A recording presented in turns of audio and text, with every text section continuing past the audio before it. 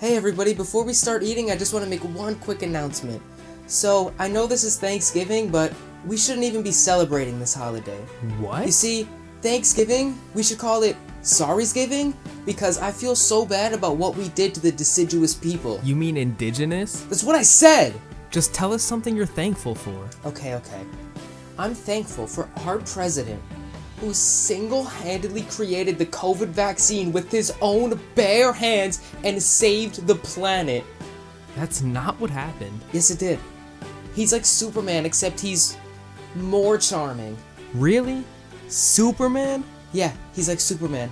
I love our president so much that I even went out and I got his name tattooed across my chest. I would get 62 more booster shots if Joe Biden asked me to, and I would thank him afterwards. Listen, it's okay if you wouldn't get that many booster shots.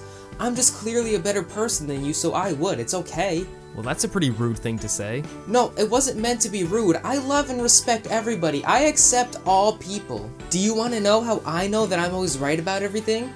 Because when I go home at night and I turn on MSNBC, the people on the news agree with everything that I think. So that tells me that I'm a pretty good person. Hey, Uncle Billy just called. He said he's on his way. Billy, your dad's brother that carries that gun everywhere?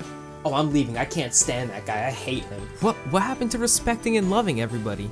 Oh no, I do. I respect everybody that has the same views as me, or else I hate them. That's how it works.